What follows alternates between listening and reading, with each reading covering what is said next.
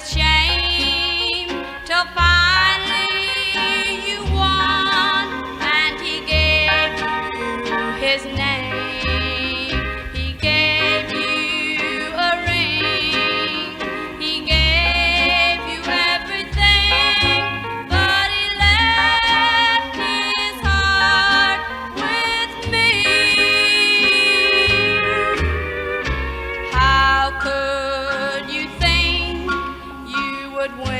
All?